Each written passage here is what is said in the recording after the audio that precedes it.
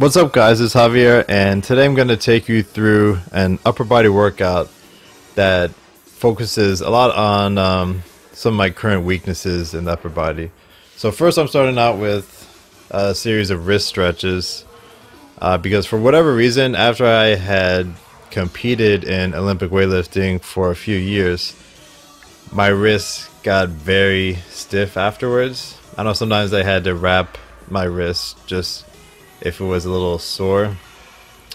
And they ended up getting very stiff. Probably could have done more stretching during the time as well, but now I'm trying to loosen up the wrist again. Um, so I can work on, you know, like my handstand type movements and uh, planche type movements as well.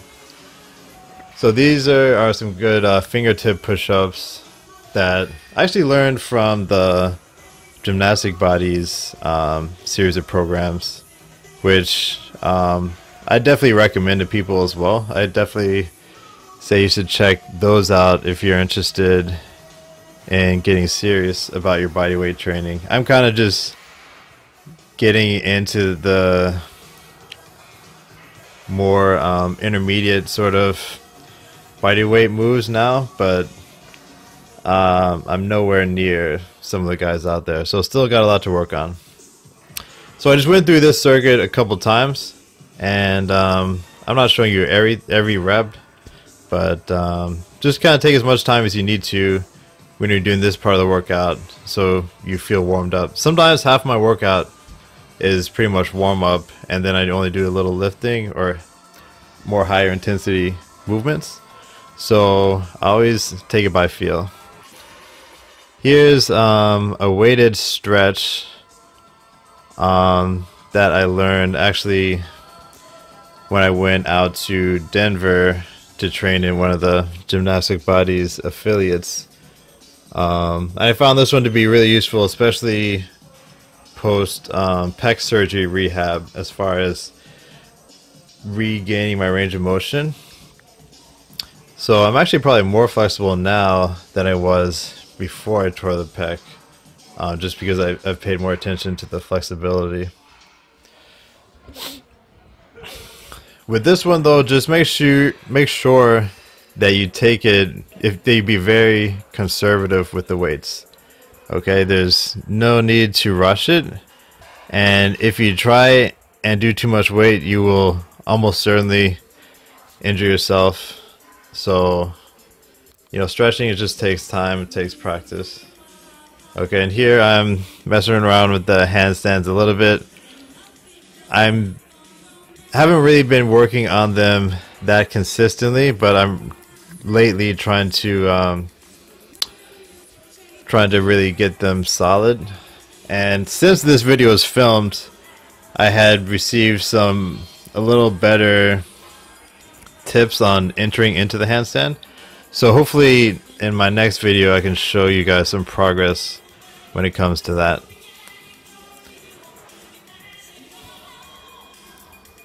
And here I'm just doing a little extra pike stretch, trying to loosen up the hamstrings. Sometimes I like to um, walk my hands towards my feet as I um, go through the stretch just to kind of test myself and have a guideline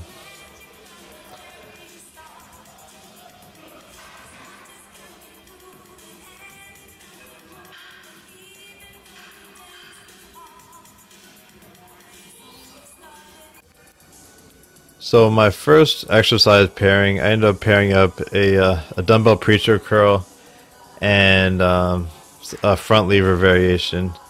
And I know a lot of people say that the preacher curl is like a totally non-functional exercise and all that stuff. But um, I, I personally think it's a legitimate variation. The difference between the preacher curl and just a regular seated curl or something like that is that your forearm is going to be parallel to the ground at a different elbow angle than if you are just seated, okay? If the upper arm is by your side. So that's why, in order for these to really be effective, you have to go all the way down, or else you're kind of defeating the purpose of the exercise. That bottom maybe third of the range of motion is what's going to be harder in a preacher curl versus if you're doing some just a regular standing curl or an incline curl, something like that. Where you get the most resistance is closer to the bottom on the preacher curl versus right in the middle on um, a regular standing curl. And yeah, so these are, this is the front lever exercise. I don't really have, I don't really know the proper name for this exercise. I'm sure there already is one, but I just call them laybacks. Um, so if anybody knows the proper name, feel free to say so in the comments below. These I'm trying to keep my body from the shoulders to feet in a straight line and trying to hold my hold that line as tight as possible. Okay, so once I felt like my hips were starting to pike, I ended up just uh, stopping the set there. Here's just the preacher curls from another angle. You want to make sure you're not rocking back that shoulder as you do the curl. I do it a little bit there, I guess, but I try and keep it as strict as possible, okay?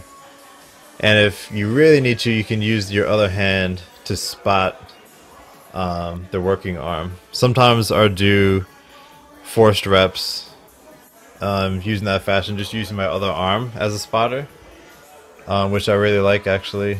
And I almost prefer that to doing like an EZ bar curl, for example, with a training partner as a spot, because you can really make it much more um, precise. Although a good training partner will should be should learn to do forced reps um, effectively, but it just takes practice.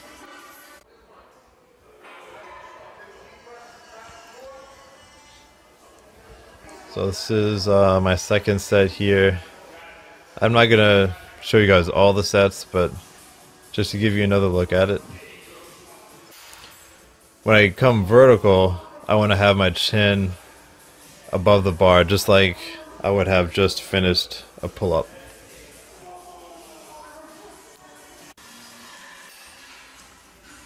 Alright, so next I decided to show, throw in a um, little shoulder superset here with a dumbbell shoulder press um, going into a uh, lateral raise. So when you're on the shoulder press, a lot of the times I like to not use the back support just to keep myself more strict and to build that core strength a little better. Uh, but I, I will use the back support every now and then, and especially if it's already very fatigued from another workout or something. But in general, I like to go without it. And so this is, uh, I guess, a typical sort of post exhaust superset where do the compound movement first and the isolation movement second. You can do also the reverse, a pre-exhaust superset where you do the lateral raise first and um, the shoulder press second. I find that that is good for the times that either you don't have access to as heavy a weights as you usually would, so you fatigue out the delt first and then go to shoulder presses. Um, or if you're just feeling kind of tired, you don't think you can really handle as much weight as you normally would, or the joints are a little sore, maybe the elbows are sore, and you want to still get a good workout, but without having to go as heavy. Fatigue out the shoulders doing the lateral raise first, okay? That way, by the time you get to the shoulder press, you're not going to be able to use as much weight anyways. So it's a little less stress on the joints, but you're still get a good workout in. I try to get always get my hands at least to shoulder height. Sometimes if I'm getting tired, or bend my elbows a little more just to get the reps in.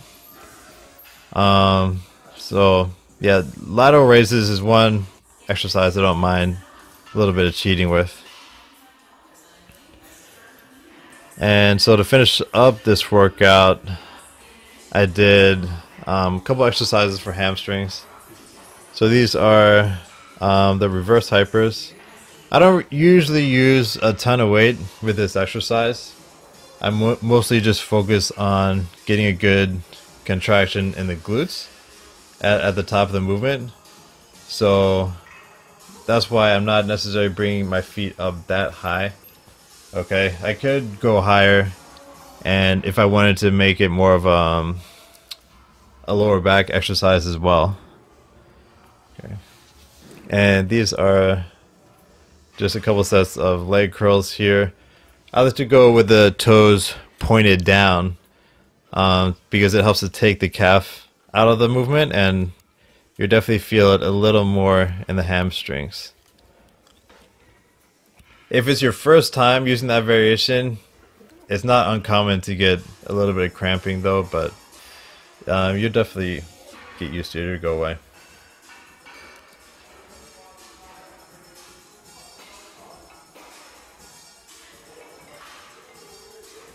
This is just my next set of the reverse hypers. It's also one of the good one of those good exercises to use if you want to work out the the glutes, hamstrings, you know, all the, that whole posterior chain hard, but you don't feel like you want to put that much load on the back as far as doing like a deadlift or you know good mornings, Romanian deadlift, any of that stuff. That's a good variation if you feel like your back is fatigued or tight and you don't want to stress it too much. And this is just my last set here on the leg curls. A lot of times I like to pair up that hip extension movement with the knee flexion movement. Alright, and that's it for the workout.